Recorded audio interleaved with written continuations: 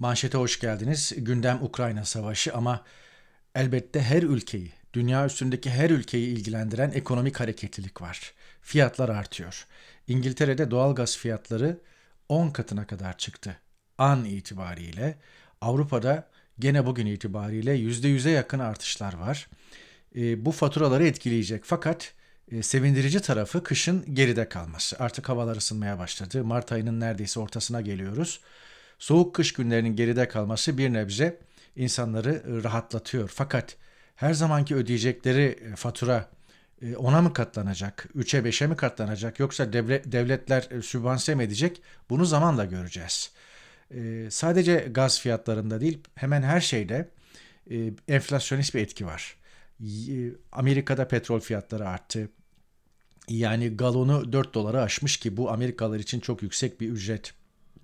Ee, yine aynı biçimde yani iki yıl devam eden pandemiyi atlattık denirken şimdi bir savaş belası oldu ve özellikle Kuzey Yarımküre'yi çok yakından ilgilendiriyor ve Kuzey Yarımküre'de mühim bir fakirleşmeyi, e, fakirlerin yokluğa düşmesini e, getirecek.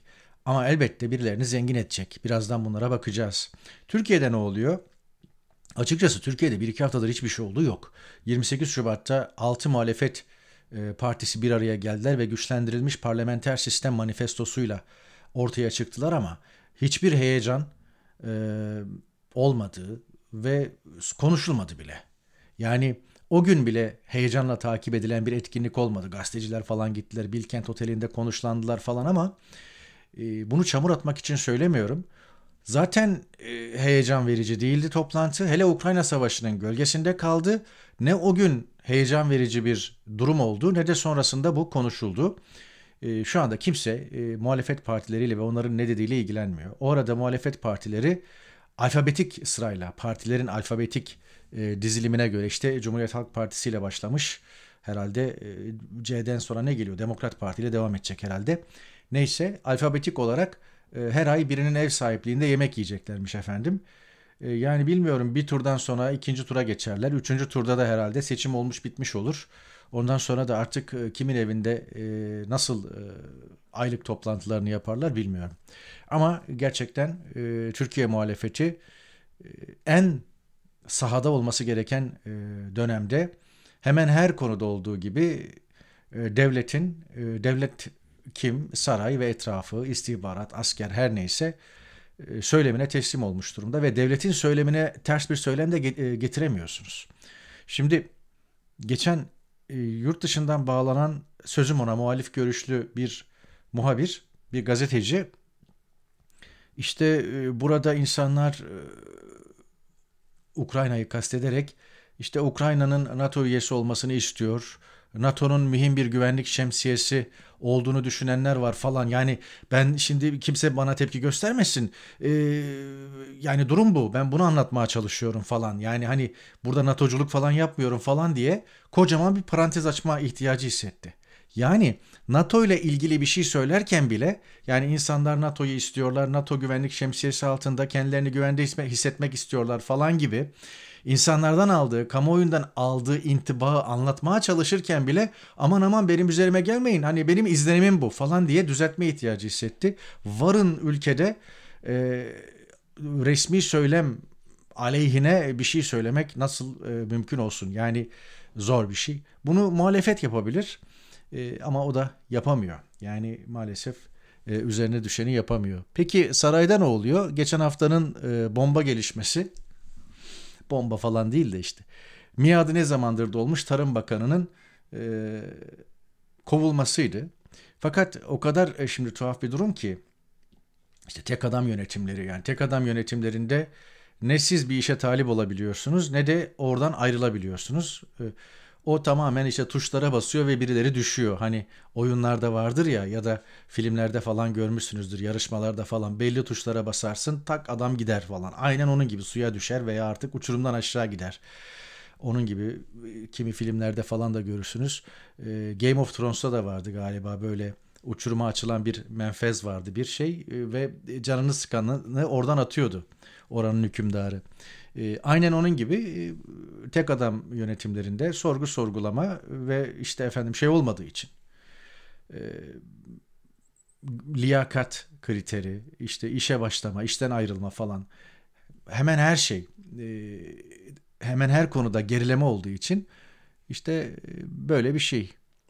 Bekir Pakdemirli de görevden affedilmiş. Adamın haberi yok. Adamın haberi yok. Yani o akşam önce diyorlar ki hazırlanın görevden affedileceksiniz. Ee, sonra da görevden affediliyor. Yani şey istiyorlar. İstifa mektubu istiyorlar veya görevden af yazısı istiyorlar. O kadar e, bu durumun farkında değil ki e, ertesi gün e, 4 Mart Cuma günü saat 9.30'da sabah e, Binali Yıldırım'la e, şeysi var, e, programı var Erzincan'da. Ama e, o programdan bir buçuk saat önce böyle bir tweet atıyor. Evet. Böyle bir dönem, böyle bir durum. Benzer bir durum Rusya için de geçerli. Yani e, tek adam yönetimi var ve siz nasıl arzu ederseniz durumu var. İnsanlar savaşla ilgili doğru bilgi alamıyorlar. Tam bir karartma var ve e, hem karartma olduğu kadar insanlar fikirlerini de söyleyemiyorlar. 15 yıla kadar e, hapis cezası yasası çıktı. Yani yani bir, bir insan savaşa hayır dese veya eleştirse veya Putin'in aleyhine bir şey söylese veya canını sıkacak bir şey söylese 15 yıl Sibirya zindanlarında hayatı kararabilir. Böyle bir durum. Şamil Tayyar çok enteresan bir tweet attı. Hiç dikkat çekmedi. Ee, özellikle muhalefetin toplantısını kastederek çocuk tacizcisi eski vekilin 367 aktörü eski bakanın, e, raf ömrü dolmuş eski başbakanın AKP'ye katkısı olmaz. Şimdi 367 aktörü eski bakandan kasıt Erkan Mumcu anladığım kadarıyla. Raf ömrü dolmuş eski başbakan Tansu Çiller. Fakat çocuk tacizcisi eski vekil derken kimi kastediyor ben bulamadım. Eğer bununla kimi kastettiğini e, biliyorsanız siz ne olur aşağıya yorumlara yazın. Ben bulamadım ama gerçekten ağır laflar bunlar yani. Madem çocuk tacizci, tacizcisi neden hakkında işlem yapılmıyor? Ya da dümdüz böyle iftira mı atıyorsunuz? Her önünüze gelene veya her canınızı sıkana çocuk tacizcisi mi diyorsunuz? Fatih Erbakan demiş ki ki Fatih Erbakan'ı Saadet Partisi'ni elde edemeyince Erdoğan en azından Erbakan'ın e, oğlu üzerinden e, milli görüşün bir miktar oyunu koparabilir miyim hesabı yapıyor. İkinci turda Tayyip Bey ile karşısında başka aday olursa oradaki adayın yapısına, vaatlerine, çizgisine bakmak lazım. Ancak tabii mesela Sayın Kılıçdaroğlu aday olurken ikinci turda Tayyip Bey'den yana tavır alabiliriz. Yani bu arkadaş e, büyümüş, adam olmuş, parti kurmuş fakat son tahlilde Tayyip Erdoğan diyor. Ve diyor ki yani adayın yapısına, vaatlerine ve çizgisine bakmak lazım. Yani bakarız ve diyor istemediğimiz birisi olursa biz gene Tayyip Bey'den yana e, şey, şeyimizi, şansımızı kullanırız. Yani Tayyip Bey'in yapısı, Tayyip Bey'in vaatleri ve Tayyip Bey'in çizgisi sizi tatmin ediyor demek ki. Evet. Enteresan. Yani Fatih Erbakan ve onun partisine e, müntesip e, üye neyse gönül vermiş çokça insanın seyrettiğini biliyorum. E, fakat bir siyasette gerçekten bir doğrultuda siyaset yapmak icap eder. Ya iktidarın alternatifi değilseniz ve oraya oy verecekseniz e, ne diye bir iddia ile ortaya çıkıyorsunuz? Fatih Erbakan'ın babası er, yaşasaydı, hayatta olsaydı, gücü kuvveti yerinde olsaydı e, Erdoğan'ı devirmek için e, hamleler yapardı. İktidara alternatif olurdu. Onu oradan indireceğim derdi. Evet. Ben e, Fatih Erbakan'ın babasını yıllarca takip ettim muhabir olarak. Hem muhalefetteyken hem de başbakanken. Ucuz yağ kuyrukları Erdoğan sayesinde değil Erdoğan yüzünden var. Çoğunluk bunu kavrarsa işler o zaman düzelir demiş Sait Sefa. Üzerine hiçbir şey söylemiyorum. Evet bir yağ çılgınlığı, e, yağ kuyrukları bir yağ kapışmasıdır, yağ savaşıdır gidiyor. Fakat e, yağ bulduğu için e, tüketici mutlu olmalı. Yarın öbür gün onu bulamayabilir. Cebinde parası olsa dahi. Yavaş yavaş Ukrayna'ya geçelim.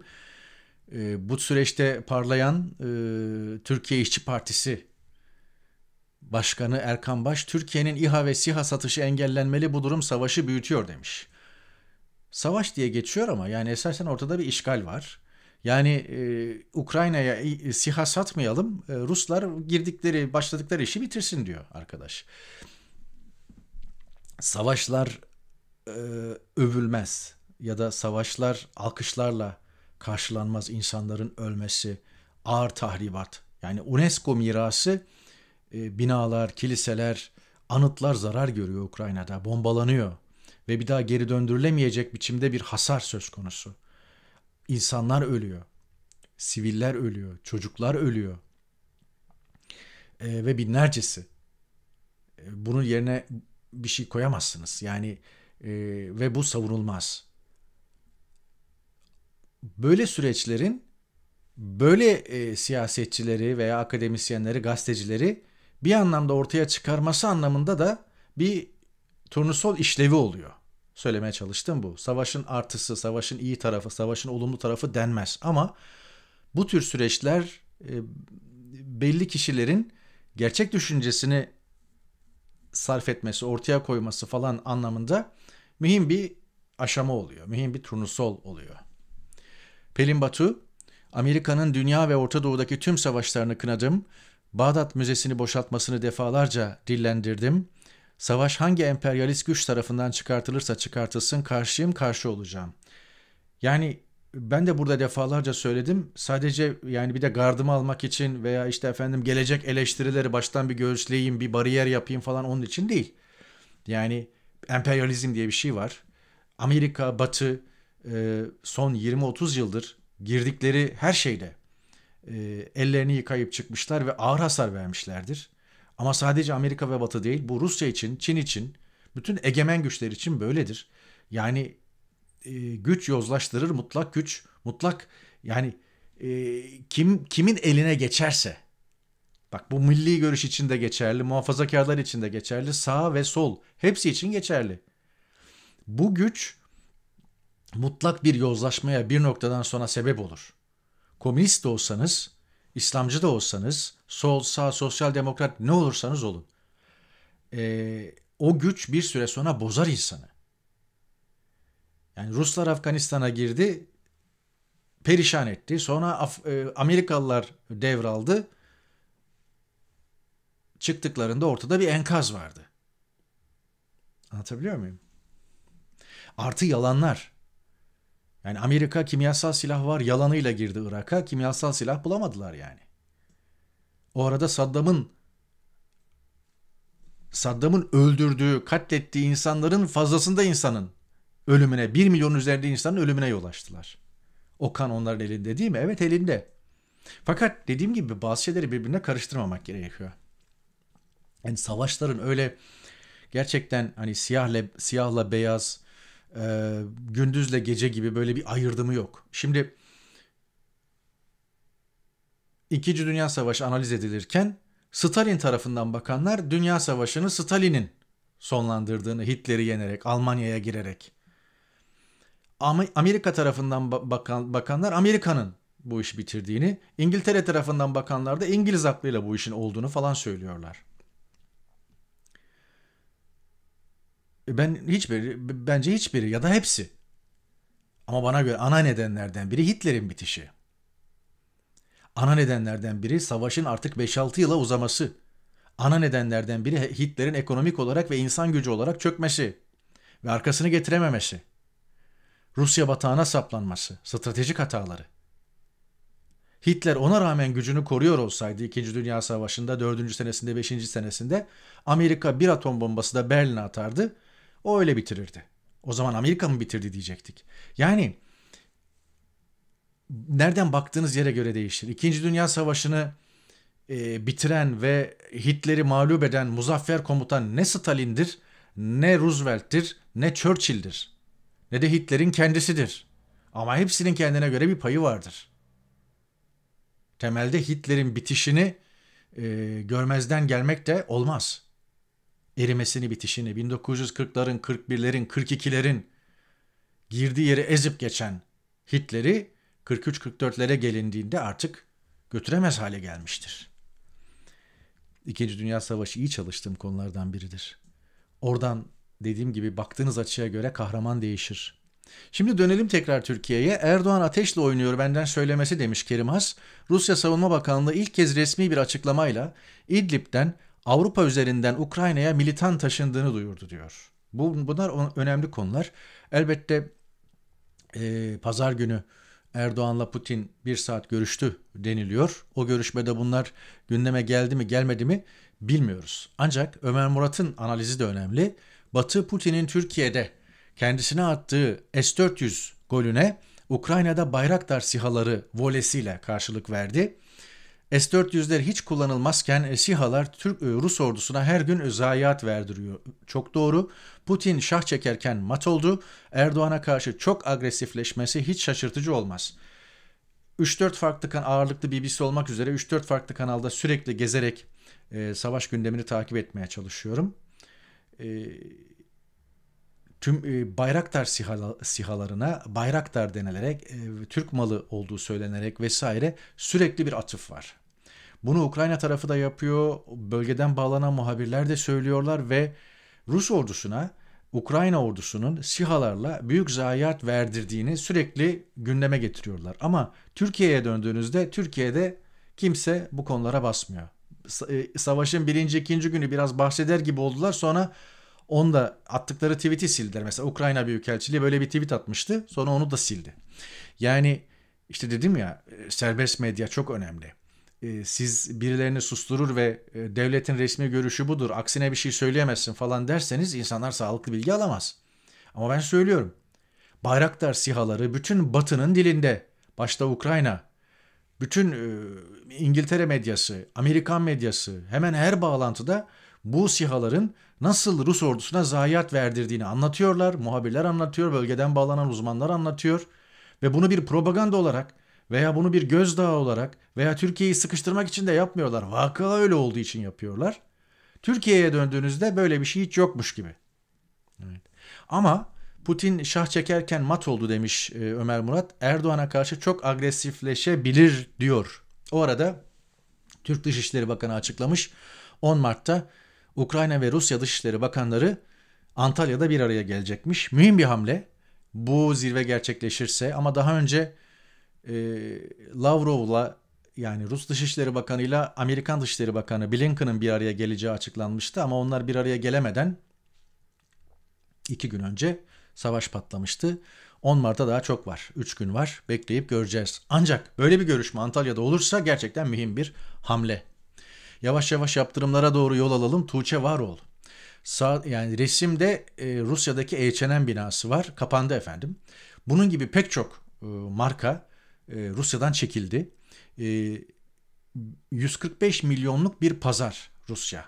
Yüz ölçümü olarak inanılmaz. Yani Avrupa'dan e, Pasifik'e Pasifik'e kadar çok büyük bir coğrafya. Milyonlarca kilometre kare. Fakat e, nüfus olarak 145 milyon büyük bir pazar, büyük bir ekonomi e, ve e, insanlar zarar etmek pahasına, şirketler, batılı şirketler zarar etmek pahasına alınan ortak karar mutabakat uyarınca çekildiler. Çekiliyorlar. Her e, geçen saat bir şirket ekleniyor buna.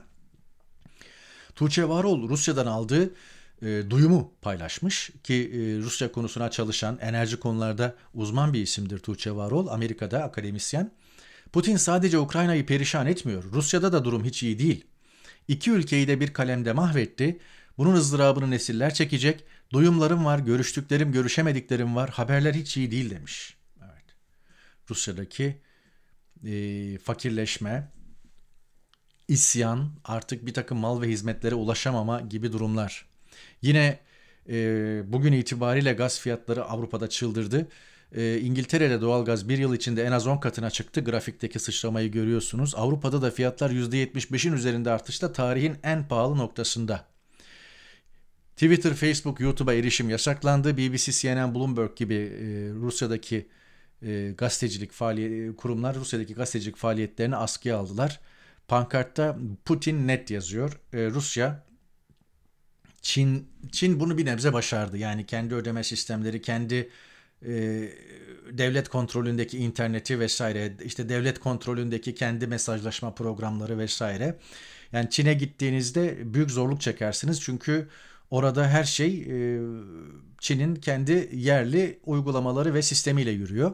Fakat Putin bunu yapmadı, yapamadı. E, yaparız ederiz şimdi toparlarız diyor ama çok zor.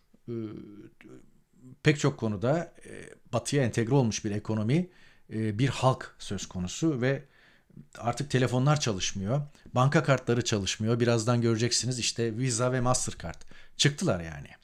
Ve e, bu iki şirket e, Çin müstesna dünyadaki e, ödemelerin %90'ını kontrol ediyor.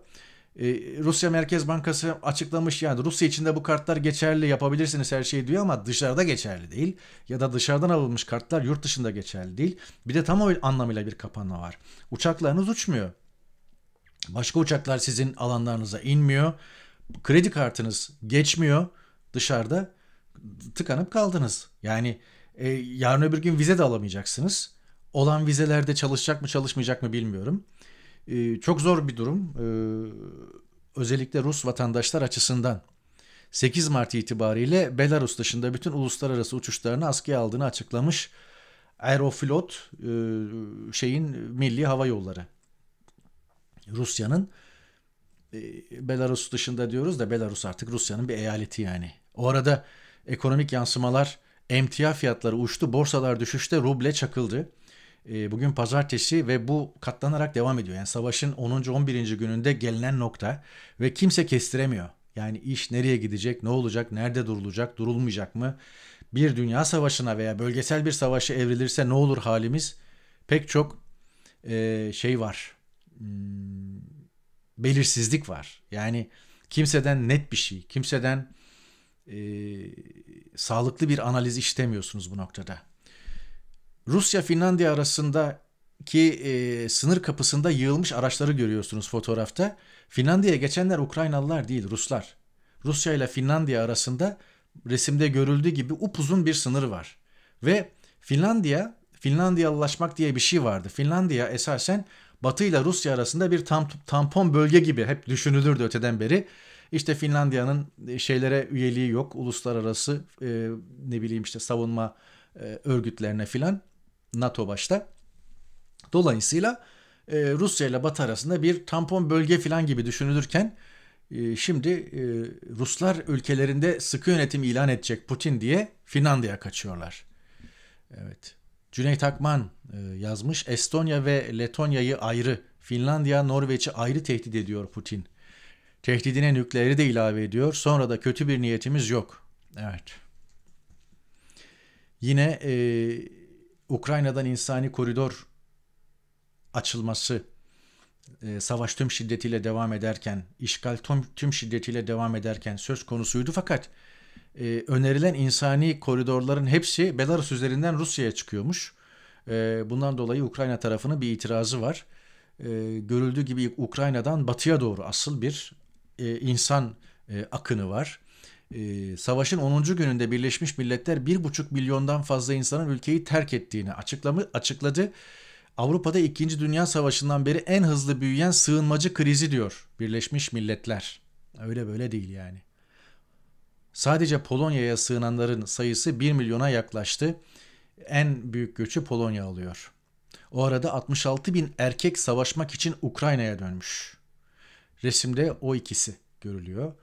E, dünyadaki Ukraynalılar savaşmak için, ülkeleri için savaşmak için e, ülkelerine dönüyorlar. Savunma Bakanlığı 66 bin erkek savaşmak için Ukrayna'da demiş. Evet.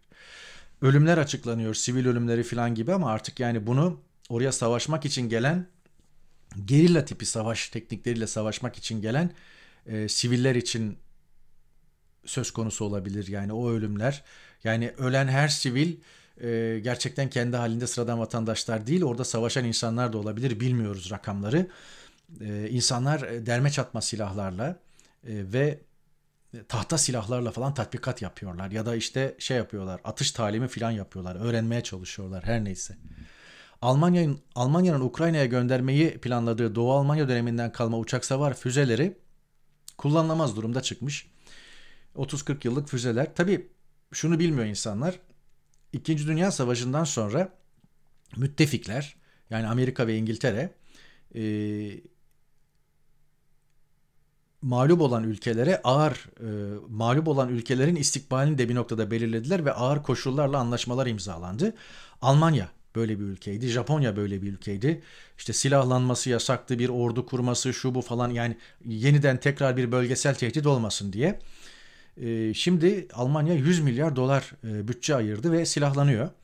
E, bu bir ilk 2. Dünya Savaşı'ndan sonra artı e, birilerini zengin ediyor bu ekonomi. Bir de işin böyle bir tarafı var. 100 milyar dolar kimin cebine gidecek, kimlerin cebine gidecek? Her krizde işte bu tür fırsatlar harekete geçiyor. Benzer bir durum Türkiye için de söz konusu. İşte Türkiye'de konuşuluyor. İşte e, Tayyip Erdoğan muhtemelen söylemiştir veya onun adamları söylemiştir. Yani biz bak burada bir denge politikası götürüyoruz. Batı'ya şöyle söylüyoruz, size böyle söylüyoruz. Aman bir alınmaca, gücenmece olmasın. Bizim üzerimizden ticaretinizi götürebilirsiniz. Yani oligarklar gelsinler Türk vatandaşı olsunlar ve onlar Türk vatandaşı olarak dünyayla ticaret yapsınlar veya işlerini götürsünler. Zaten e, para transferlerinde bir sorun yok. Biz gelen bütün parayı kabul ediyoruz. Bizden çıkan paralara da bir şey demiyoruz. Kota mota limit falan uygulamıyoruz. E, eğer oligarkların Türk vatandaşı olup e, dünyaya açılmasında problem olacaksa yani dünyayı bu şekilde kandıramayacaksak e, bizim Ethem Sancak gibi başka böyle yerli e, güzel mutemetlerimiz var Mehmet Cengiz misali. Ben size yüzlercesini bulurum. Onlar üzerinden işinizi götürürsünüz. E, yüklü bir maaş verirsiniz arkadaşa. O milyon dolarları Moskova'ya aktarır. Zannetmiyor musunuz bu pazarlıklar yapılıyor? Benimki fantastik değil bu. Gerçekten bunlar konuşuluyor. Ukrayna'daki insanların durumu, insani koridor, insanlar daha fazla ölmesin, nasıl ateşkes olabilir, şu bu falan. Bunlar mı konuşuluyor zannediliyor, zannediyorsunuz? Herkes parasının peşinde. Parayı konuşuyor. Buradan nasıl çıkar çıkarım? Ee, buradan paramı nasıl kurtarırım? Para gider mi? Ya da e, burada bir fırsat var mı? Nasıl daha e, zenginliğime zenginlik, zenginlik katarım? Herkesin kafası buna çalışıyor. Ölen insanlarda falan değiller yani. Ölen insanları düşünen belki Zelenski sadece. Ukrayna'nın hava sahasını kapatmama kararına ateş püskürüyor NATO'nun. O arada bu fotoğraf kadar çarpıcı bir fotoğraf yoktu hafta sonu. Kiev'e yaklaşık 25 kilometre e, uzaklıktaki İrpin'de sivil halk tahliye sırasında bombardıman arasında kaldı. Savaştan kaçan anne, baba ve iki çocukları topçu ateşinde hayatını kaybetti. Yerde yatanlar ölmüş siviller bombardımanla. Ve İrpin üzerinden Rusya Kiev'i kontrol etmeye doğru adım adım yaklaşıyor. Mehmet Efe Çaman biraz evvel analizini yaptığım konuyla ilgili olarak Rusya'nın elindeki e, mühimmat ve silah stoklarına e, işaret etmiş.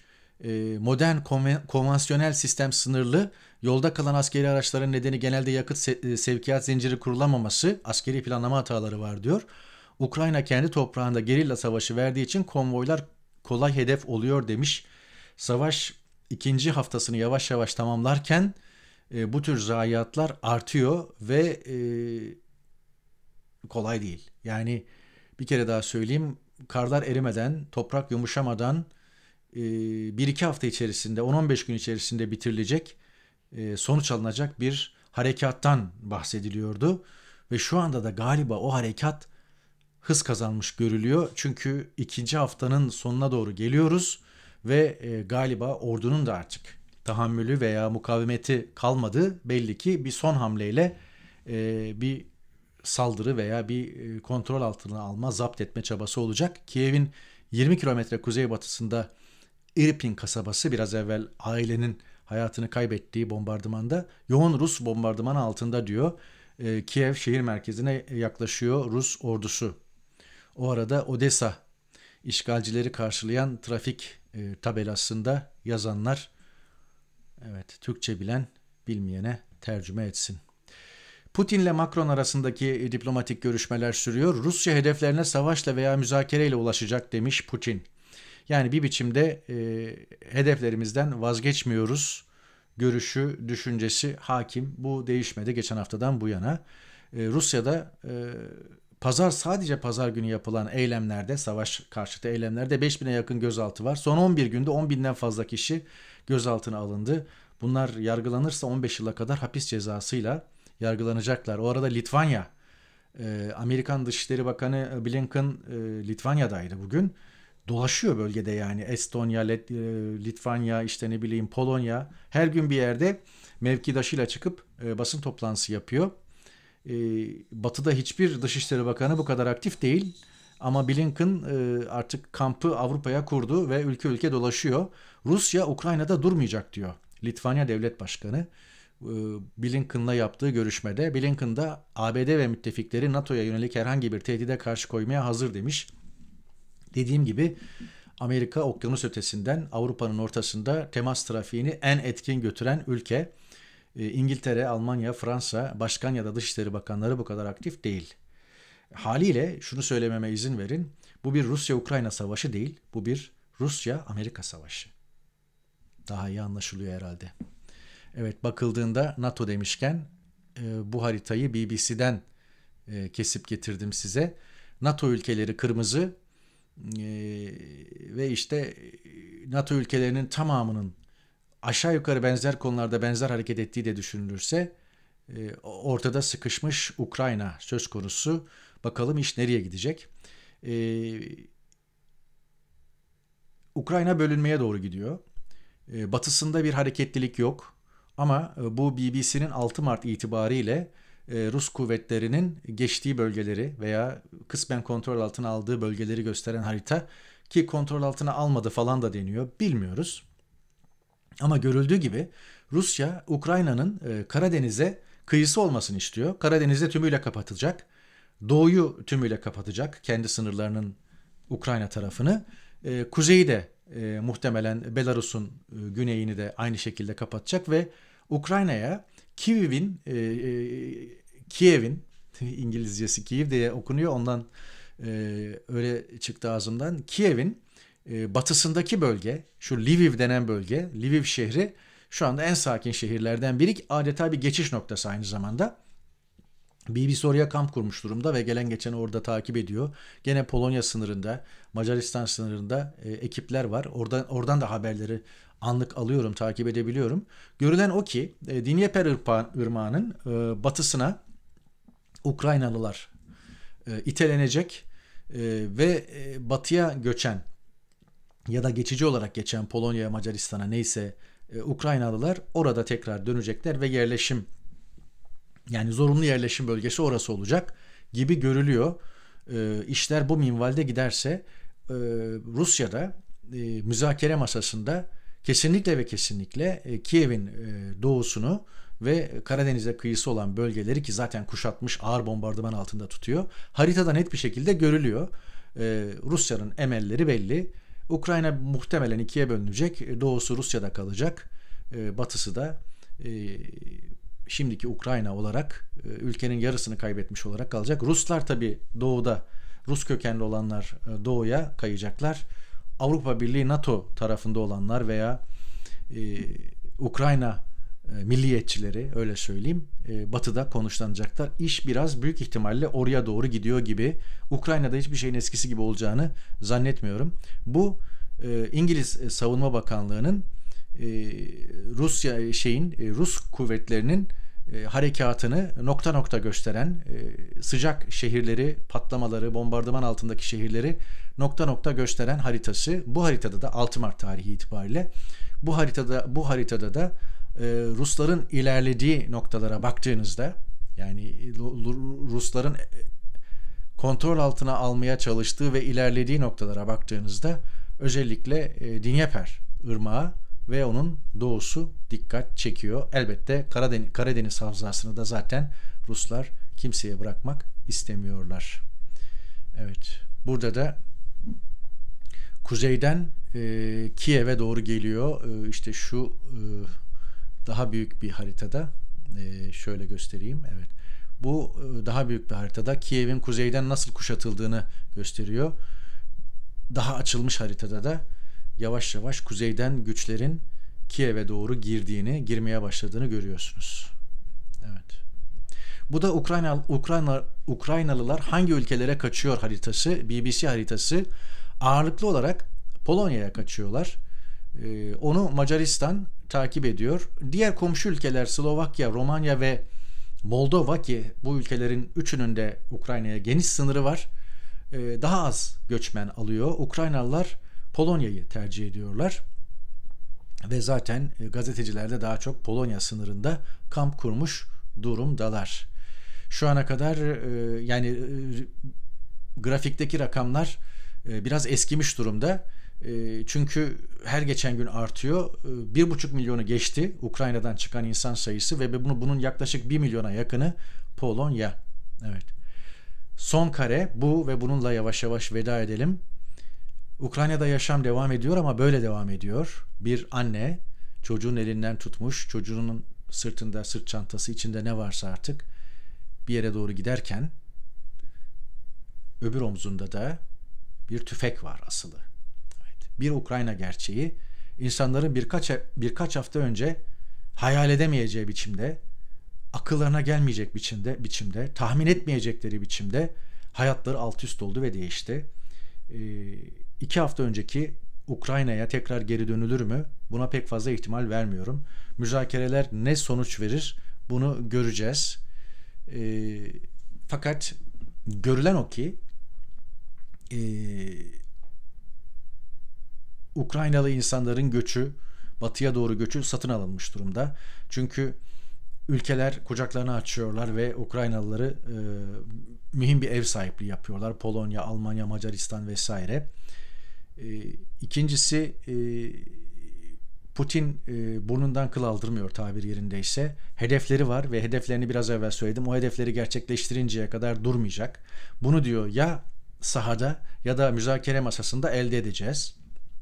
Ukrayna e, Kiev'de sıkışmış durumda devlet başkanı Zelenski ve böyle giderse ya Rusların eline esir düşecek ya da öldürülecek. E, belki son anda bir e, yarma harekatıyla e, çıkıp bir yere sığınabilir veya daha güvenli bir bölgeye geçebilir. Ülkenin batısına doğru kaçabilir veya geçebilir bilmiyorum.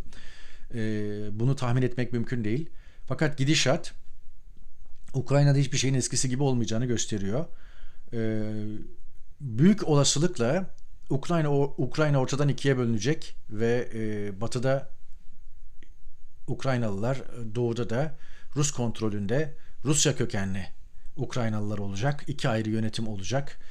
Ee, her şey müzakere masasından çıkacak sonuca bağlı. Ama bir anlaşmazlık söz konusu olur. Ukraynalıların direnişi 66 bin erkek gelmiş e, e, yurt dışından savaşmak için. Ukraynalıların direnişi e, Rusları püskürtür. Ruslar e, şu anda e, psikolojik ve mekanik olarak çöken orduyu takviye edemezlerse ve Kiev düşmezse bu savaş haftalarca aylarca gerilla savaşı olarak devam edebilir. Ondan sonra olabilecekleri kestirmek ise çok zor. E, fakat e, Putin'in e, geri adım atmaya niyeti olmadığını ne müzakere masasında ne de sahada e, gör, görüyoruz, görebiliyoruz. Yine ikinci bir konu var net olarak gördüğümüz. Ukrayna hiçbir zaman eskisi gibi olmayacak. Üçüncü, dördüncü, beşinci ihtimalleri uzayan savaş sürecinde bunu yaşayarak göreceğiz. Diyoruz ve bir sonraki yayında buluşmak, görüşmek umuduyla e, burada noktalıyoruz. Esen kalın.